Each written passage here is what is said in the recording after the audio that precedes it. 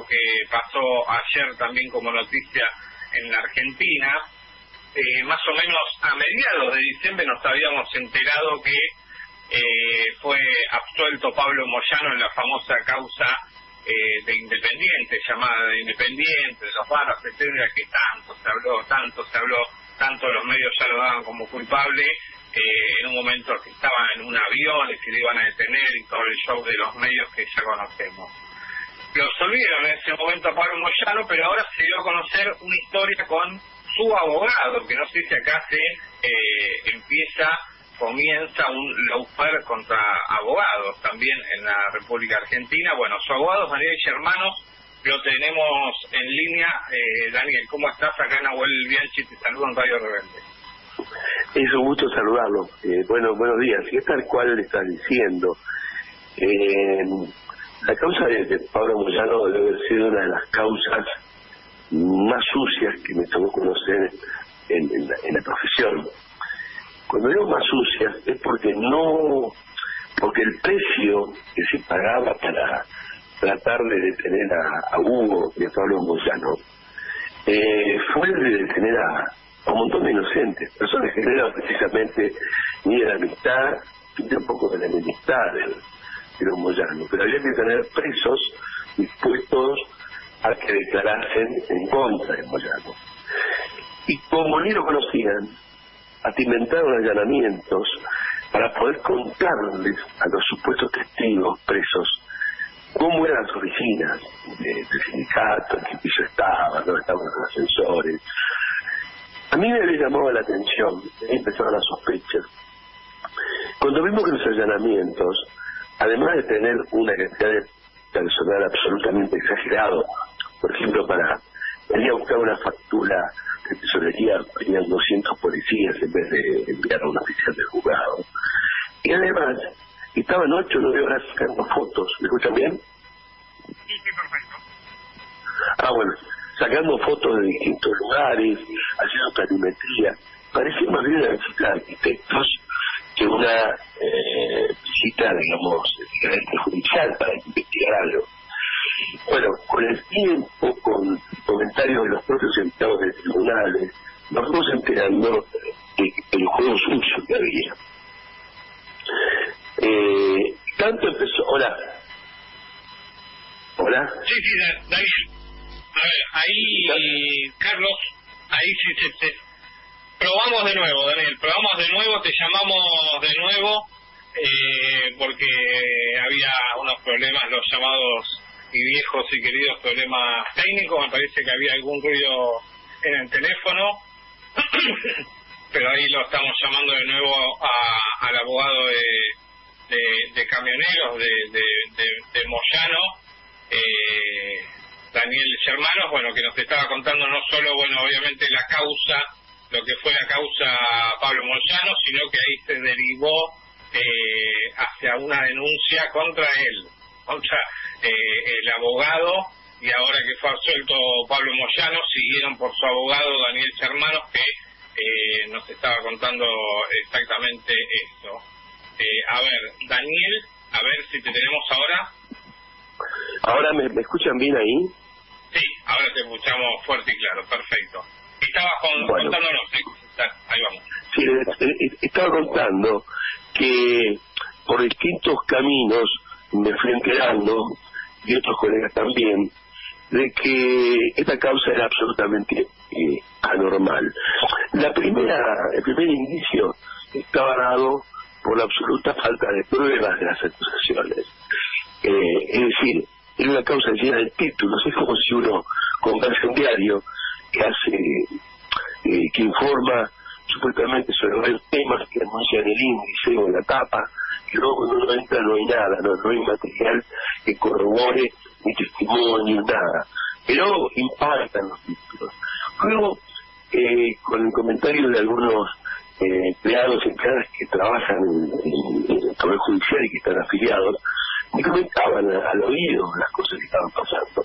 Y por medios formales, informales, me estoy enterando de que existía este lawfare que después la denuncié pública y judicialmente. El tema es explosión cuando un abogado de la AFI pide entrevistarse conmigo a solas, yo no sabía que era abogado de la AFI, el abogado de uno de los detenidos, y pensé que me buscaba solamente para que forjáramos una estrategia común. No, quería decirme que Alan Ruiz, que era el número 3 de la AFI, lo extorsionaba para que su cliente, que se llama Damián Lagarone, declarase falsamente contra los Moyacos. Y que eso no quería hacerlo, y como es eh, un abogado con no muchos años en la patria, no sabía cómo desembarazarse. Ese es el discurso que me permite el doctor Facundo Melo, que la agencia reportaba con otro, con otro nombre, porque era un empleado formal de, la entonces le dije, mira, las cosas hay que transparentarlas, andamos juzgado y hacer la denuncia. Bueno, fue un juzgado federal, el Comodoro Pi, formuló la, la denuncia, y una vez formulada esta denuncia, comenzó de a poco a caer un cono de sombra sobre, sobre la, la causa. Eh, se pudo descubrir el cableado de calabozos de presos y el calabozo preparado para Moyano, lo tenían antes de quitarle la prensa, la habían armado. El calabozo con cámaras de televisión y de, y de audio. Una verdadera vergüenza. Entonces yo todo eso lo fui eh, sumando, sumando, sumando, y cuando se hace el pedido, el requerimiento de elevación a juicio de Pablo Muyano, el pedido de detención, yo acompaño unas 70 hojas de prueba abrumadoras, abrumadoras, y la jueza Breta Madrid sobre C, no sobre C por haber sido ni, nombrada por Scioli, ni sobre C por su porque las pruebas de descarga eran brutalmente poderosas. Bueno, terminado ese solecimiento, ¿qué hace un fiscal de Lomas de Zamora? Siguiendo órdenes del fiscal Sebastián Canela, eh, interpreta y supone, da por supuesto, de que ese abogado de la AFI en realidad había estado en connivencia conmigo, como que habría vendido su testimonio. Bueno, vendido o no vendido, la cosa es que todo lo que dijo se probó, era todo un delito, todo un delito la causa, desde el principio hasta, hasta el final. Eh, llegó a pedirme mi atención varias veces que el juez Walter López eh, descartó por completo, y el fiscal ahora se conforma con que yo sea indagado, cosa que tendría que ocurrir supuestamente el día 19 de enero. Pero eso también es una irregularidad, porque si realmente yo hubiese tenido una concertación legal como nombre de la AFI la empleado de la AFI, debería intervenir un juzgado federal y no la, el juzgado del blog de los Machacuas. No sé si esto queda claro. Hola. Sí, sí, sí, sí, sí. Sí, te estamos escuchando eh, con, bueno, eh, con mucha con mucho asombro. Realmente, el, el abogado este que hablaste es Víctor Hortel, ¿no?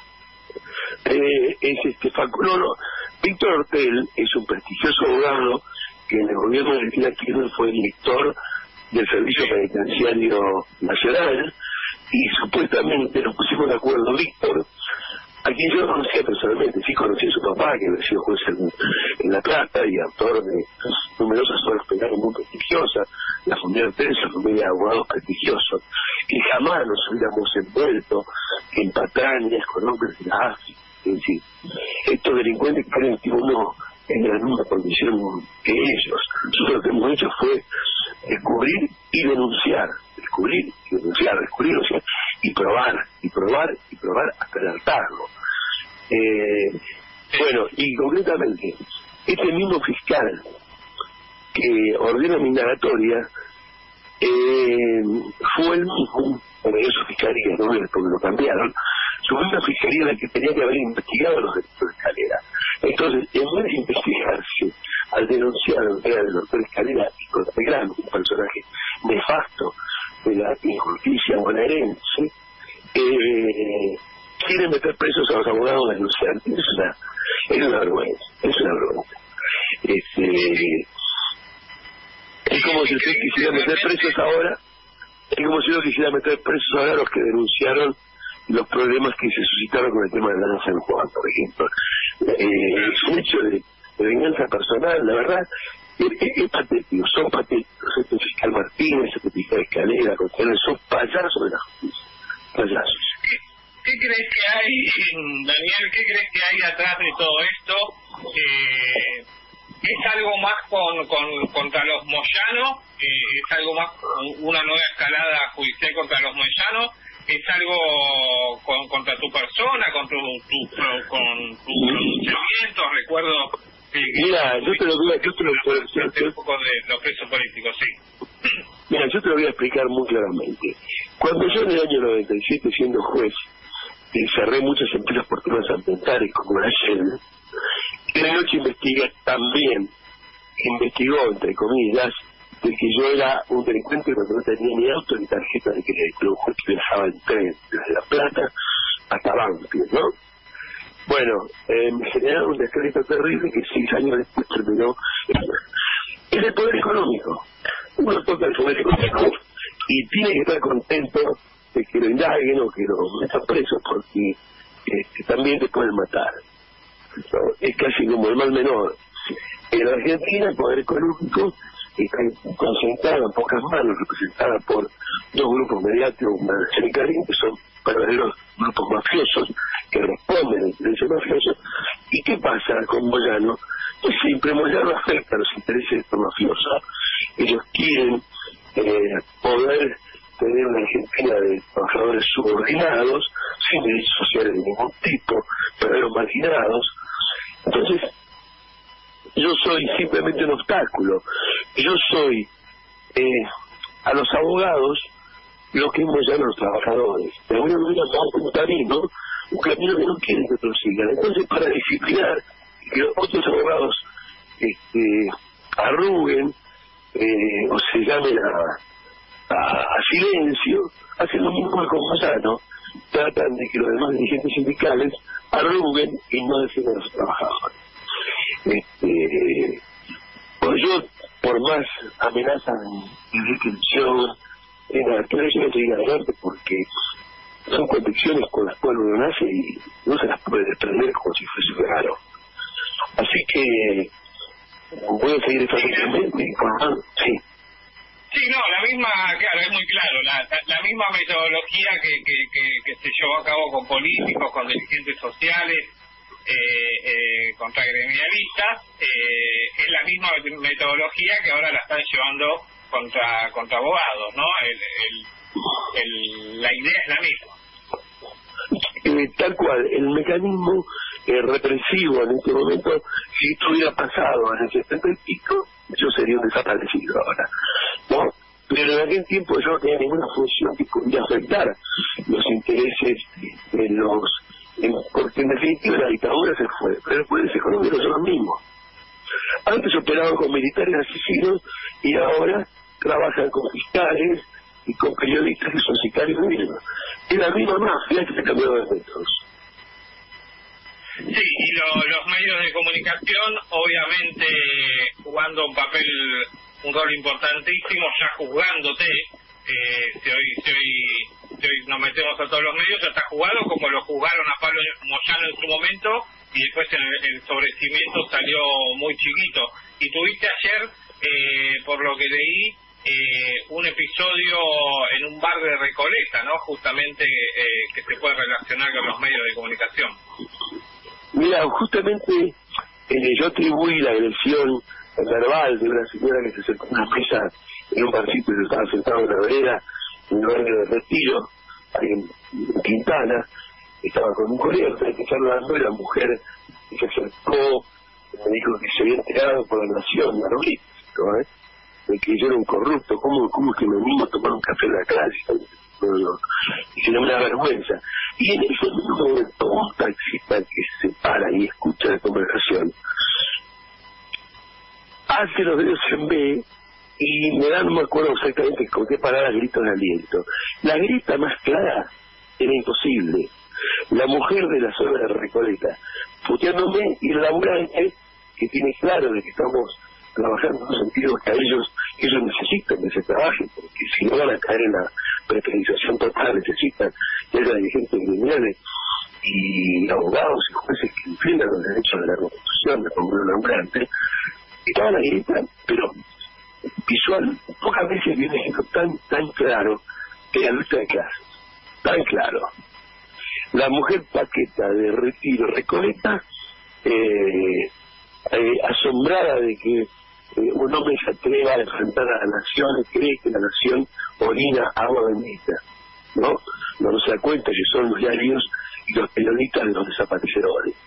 Y bueno, este, queridos amigos, este es el país que tenemos, este es el país que tenemos que mejorar y este, yo primero que nada les agradezco infinitamente la nota porque por lo menos la gente se va enterando, va comentando y también es una forma de defenderse porque el ataque que ellos hacen primero es el ataque que ellos hacen primero es mediático para defenderlo a uno de la opinión pública y después la cárcel por cualquier motivo eh, está perfecta y por este sector pacato de la sociedad.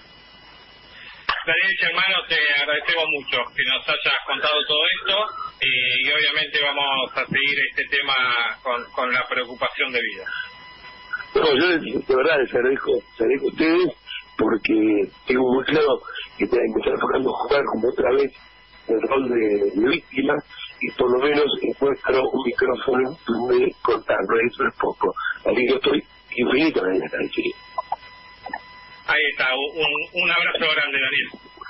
Muchas gracias a ustedes, abrazo Ahí pasó entonces Daniel Germano, abogado de, histórico de los Moyanos, el juez, como nos contó él, eh, y con una historia realmente más eh, que reafirma lo que es el lawfare en Argentina, yéndose a políticos, a dirigentes sociales, eh, y hoy y ahora eh, la novedad el nuevo Lofer contra los abogados, siguiendo la misma metodología. La historia que nos contó eh, es clara, eh, clarísima, realmente lo que todo lo que nos contó recién Daniel Hermanos.